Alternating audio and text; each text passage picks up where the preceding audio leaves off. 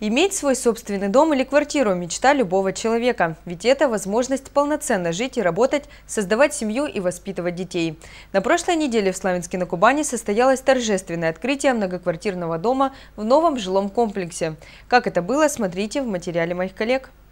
Расширение жилищного фонда – это залог эффективной городской экономики в целом. В Славянске на Кубани строительство идет полным ходом. Город расширяет площади не только социальных объектов, но и жилой застройки. В прошлом году введено в эксплуатацию 45 тысяч квадратных метров жилья. За год было построено 196 индивидуальных и 7 многоквартирных жилых домов. На прошлой неделе в Славянске на Кубани состоялось торжественное открытие первого многоквартирного дома в новом жилом комплексе по улице Одельской, 257Б. Согласно проекту, на земельном участке площадью 6 тысяч квадратных метров будет возведено три пятиэтажных литера. Это более 130 квартир и 8 тысяч квадратных метров жилья. На открытии присутствовали почетные гости. Среди них глава Славянского района Роман Синегов Снеговске. Он высказал наилучшие пожелания новоселам. Всем нашим новоселам, которые приобрели здесь квартиры, я хотел бы пожелать, чтобы у вас все складывалось, чтобы вам понравилось в новом жилье, чтобы никакие маленькие даже замечания не выплывали, чтобы вы создавали уютные гнезда, как, как сегодня говорят, растили детей и радовали жизни. Всем всего самого доброго, успехов, процветания, всех благ. Спасибо. Также поздравить жильцов пришел глава города Славянска на Кубани Александр Коновалов. Микрорайон очень интересный, очень уютный.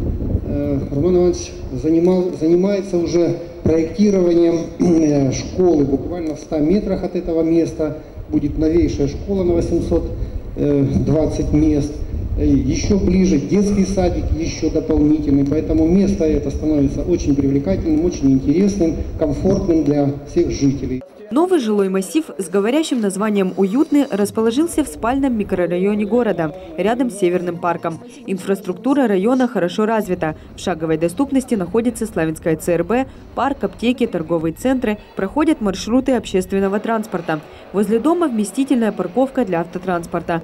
Вход в подъезд оборудован отдельным пандусом для колясок. По словам самих новоселов, они очень рады новому жилью и не сомневаются в его качестве. Многие из них с самых первых дней наблюдали за ходом стройки. Неоднократно сами приезжали на стройплощадку и убеждались, что на любом этапе здесь всегда и во всем царил порядок. Чувствовалась добротная хозяйская рука. Они все предусмотрели, молодцы. Нету стесненности, вот стеснен...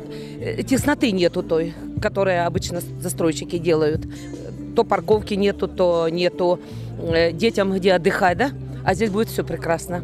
Супруги Барановы очень рады, что приобрели здесь квартиру. Жилье выбирали долго, признается Елена Баранова. Но когда увидели этот дом, сомнений у них не осталось. Больше всего захотелось здесь квартиру, потому что это, считай, центр, тут есть развлекательный центр, можно в кино сходить, очень много магазинов. Детям очень удобно, так как э, парковая зона. Так что все отлично. Финансирование и строительство жилого комплекса «Уютный» ведет общество с ограниченной ответственностью СКС «Строй-96». Возводя качественное, удобное и недорогое жилье, строительная компания зарекомендовала себя на рынке жилой недвижимости в качестве надежного застройщика. Опыт работы, комплексный подход к выполнению работ, жесткая система контроля качества, использование новых технологий и современных материалов – все это говорит о профессионализме строительной организации и нацеленности на высокий результат. Все самое последнее применялось в доме. Поквартирное отопление, э, очень современная система удаления немецкая. Многоквартирный дом радует своим современным и красивым видом не только снаружи.